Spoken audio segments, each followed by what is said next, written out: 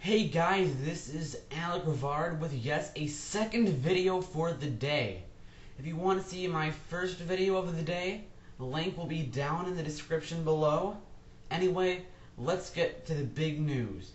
After winning the Texas primary, Mitt Romney has officially gotten enough delegates to gain the GOP presidential nomination.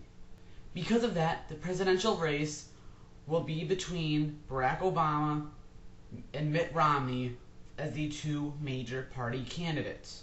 Barack Obama for the Democrats and Mitt Romney for the Republicans. The election is scheduled to take place on November 6th of 2012, which is this year. I'm not sure who I want to win, but I'm only 16, so I won't be voting anyway. But it'll be very interesting to see how this race turns out. Anyway, that's all I have to say on the subject. What I want you to do is first comment down below on who you think will win the presidential nomination. Second, I want you to give this video a thumbs up and hit the subscribe button up there.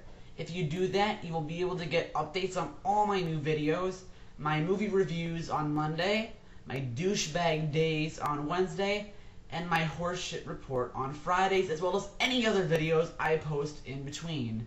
Alright, that is all I have to say. My name is Alek Rivard, and thank you for watching.